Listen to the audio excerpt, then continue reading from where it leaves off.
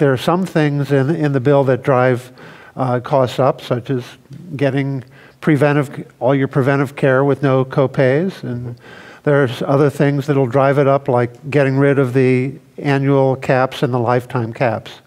And there are other things that will drive it down.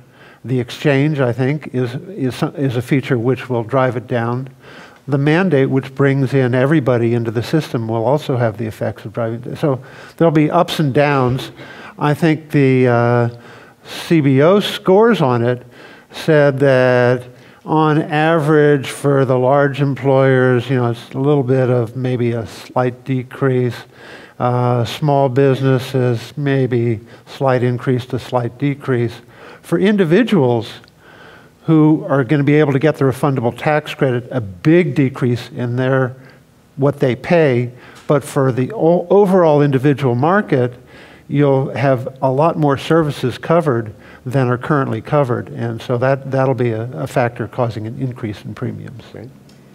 Uh, yeah, I, I, agree with what with Lucien's analysis. Uh, basically, uh, I, I, would add that last fact is an important one. That the the good news is people in general will have more comprehensive coverage. You won't find these very thin policies that you can currently buy in the individual market. But the bad news is that that costs more money, and so that will be that will be a factor in premiums. And I, you know, my own um, prognosis for the next two or three years, um, even as some of these rules that Duke talked about kicked in, is that um, health insurance premiums which have been going up faster than the rest of the economy for as long as any of us on this uh, podium can remember, are going to keep going up faster than the rest of the economy, which of course is not growing at all really right now.